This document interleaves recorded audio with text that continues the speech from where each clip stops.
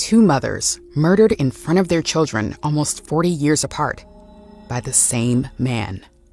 This uh, spike in crime here all of a sudden, it really is disturbing. And this is a, a wonderful community, I believe, and cohesive and uh, close knit. People have been born and raised here.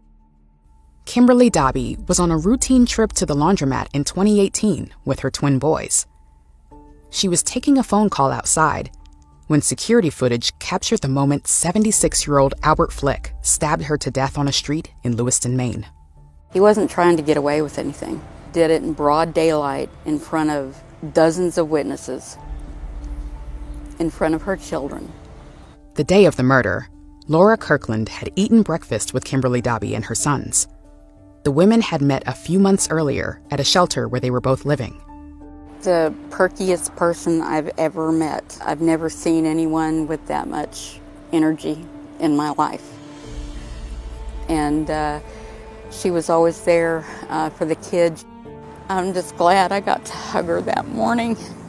My friend Lori called me that morning and said that she had heard something, a woman who had been stabbed in front of her kids, and she was thinking that it might be Kim. Then she called back and told me that she found out that, that Kim had been stabbed, and I was expecting to go visit her. I said, What hospital is she in? And that's when she said, She's dead. So that's how I found out. Flick had gotten to know the women at their local library. He seemed harmless, but neither they nor the local authorities knew about his past. It was a surprise for me. I never saw him as a threat. I don't think anyone saw him as a threat. He was average height, kind of small and elderly. He knew how to act in public. He didn't stick out. He wasn't weird, really, except for just kind of following her around like a lost puppy. Flick became infatuated with Kimberly. He told me probably about a month after Kim got there that he saw her and that he was blown away by her beauty. But uh, she just started getting annoyed by his constant attention and not leaving alone. And finally, Kathy, another woman who was there with us, and I told her, and Lori too, you need to tell this guy, stop. So she did, but again, so nice. She never saw the bad in anybody. I saw the bad in him from the first day, and I didn't like him. No one knew his past. No one, even the police department, had no idea that he had murdered his first wife. In 1979, after Flick's wife Sandra served him with divorce papers, he killed her with a knife in front of her daughter. He was sentenced to 30 years in prison. He served 21 years and was let out in 2000 for good behavior. By 2010, Flick had amassed a rap sheet that included criminal threatening, assault, and violating probation. That same year, while on probation, Flick was in court yet again for assaulting a woman with a knife. He pleaded guilty, and at his sentencing, the prosecutor fought for a long prison stay. I know that the defendant is older man and that the court and society may think that this individual is going to stop committing crimes, um, especially crimes against women and violent crimes against women with weapons. But history has really shown that he's just not about to do that. And so I think the only appropriate sentence is for a significant time in prison. When you have a probation officer who's saying that this person is going to be violent, to me that's a very big red flag. To me, Your Honor, there's no better predictor for future behavior than past behavior. I, he's an extremely violent individual when it comes to relationships. He doesn't appear to slow down at this point. I don't see him slowing down in the near future. Judge Robert Crowley felt differently. He sentenced Flick to just under three years. There's absolutely nothing in Mr. Flick's past history that suggests that he is going to choose to abandon his behaviors of assaultive conduct toward women. However, uh, from his appearance and the fact of the date of his birth, uh, he will be 72 or 73 when released from the probation revocation. And at some point Mr. Flick is going to age out of his capacity to engage in this conduct and incarcerating him beyond the time that he ages out doesn't seem to me to make good sense from a criminological or fiscal perspective. After completing that sentence, he violated probation and landed back in prison. After getting out, at the age of 76, Flick murdered Kimberly in broad daylight. He held the knife, but other people put him back on the street, and that's not right. I mean, with my mother, it was the first time, so it was something different. There was, you know, he was held accountable according to whatever the judge found fit at that point in time. But since 2000, there's been multiple incidences, and there's no reason that he was on the street.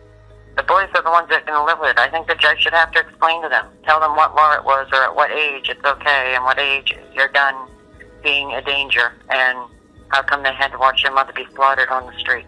This was so preventable. And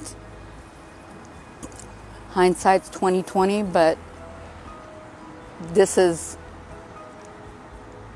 this is the hardest way to learn that this needs to be done now. Kim wasn't the first person for this to happen to, and she's not going to be the last. We as a community now know and recognize the connection between homicide and domestic violence. And it's very important for us as a state to recognize that half of the homicides that have been committed uh, recently in Maine have connections to domestic violence. Uh, so maybe it's time that we start taking domestic violence a lot more seriously. Flick was sentenced to life in prison for Kimberly's murder in July 2019. I'm happy knowing that he's going to die in prison. Even though Flick is finally behind bars for good, the community in Maine where Kimberly lived has been left wondering could this happen again? Our correspondent Alexandra Stone spoke with WMTW photographer Kevin Fowler, who reported on this case.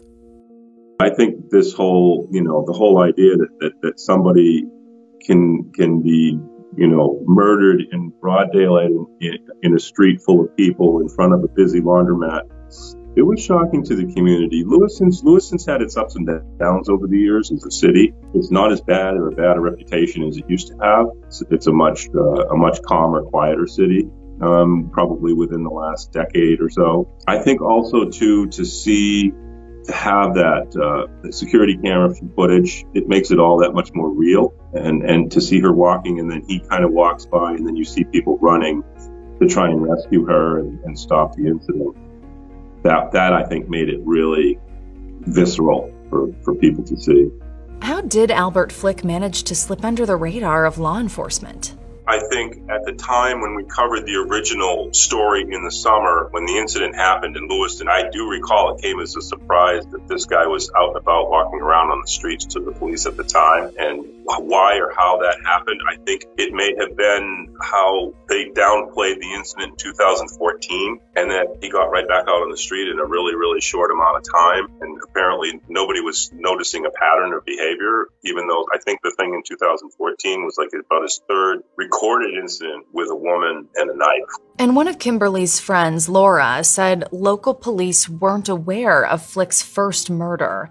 Do you know if that's true? We didn't talk to any police officers for this particular story. What I do know is that the, the, big issue with our story was how the judge had given him fairly light sentence and really considered his past history with women and how unfortunate it was that he was free to walk about, sort of be a transient in Lewiston and befriend this woman. And uh, then the worst thing happened. Is there anything important we can take away from this case? For me, it left a lot of questions on the table in terms of did anybody learn anything from this in terms of the people who are going to have to make decisions like this again in the future? And, you know, it's not unheard of that somebody got a lighter sentence or got released because it looked like things were going to be okay, and the next thing they do is reoffend. And nobody has a crystal ball that can see if that's going to work. And I'm sure that a lot of times that their rehabilitation in either in jail or a psychiatric hospital has worked, and it, and they do assimilate back into society. But you know, at a certain point, you can only do so much. You know, as a judge, it's a very very complex issue, and I know that a lot of DAs and judges and